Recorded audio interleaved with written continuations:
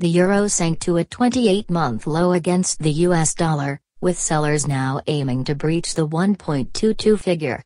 A daily close below the 61.8% Fibonacci expansion at 1.2173 exposes the 76.4% level at 1.2080.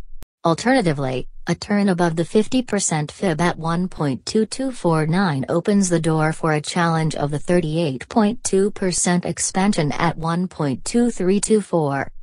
The available trading range is too narrow to justify a trade on the long or short side from a risk reward perspective.